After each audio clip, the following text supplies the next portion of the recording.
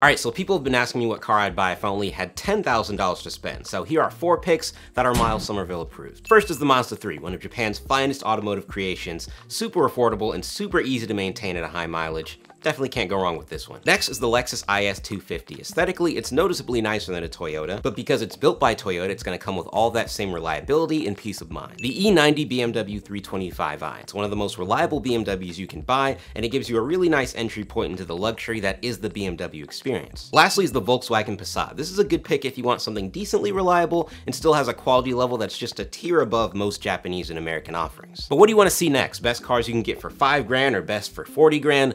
Let us know in the comments below.